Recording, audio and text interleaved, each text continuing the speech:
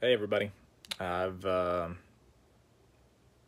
been dreading making this video for quite some time. It's uh, election day, November 3rd, and uh, I wrecked my pacer.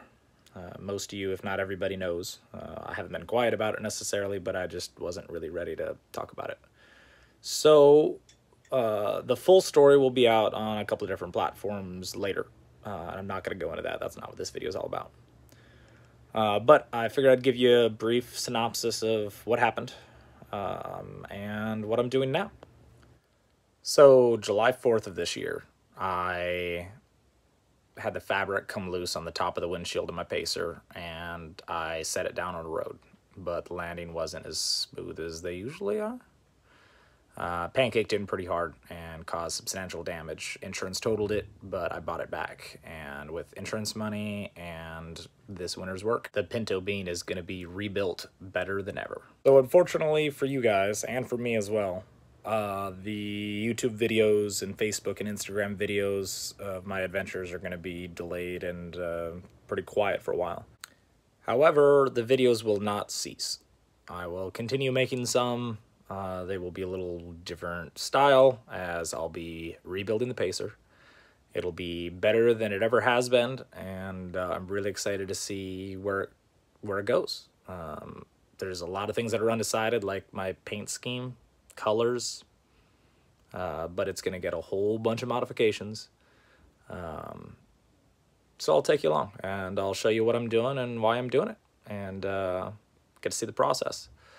It's November now, and it's supposed to be done by springtime. So stay tuned.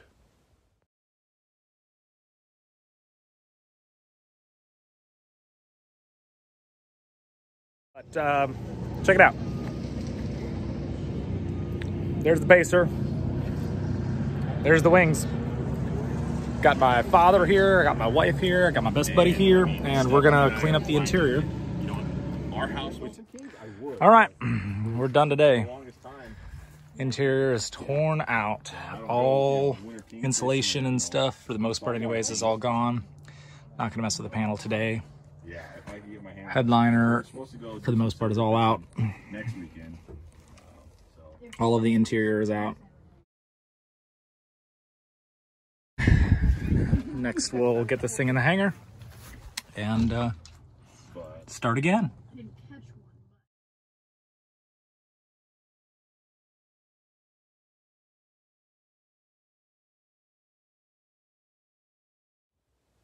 So here's some wild stats for you. I wrecked the Pinto Bean on July 4th, 2020. 33 years ago to the day, my dad wrecked a Piper also.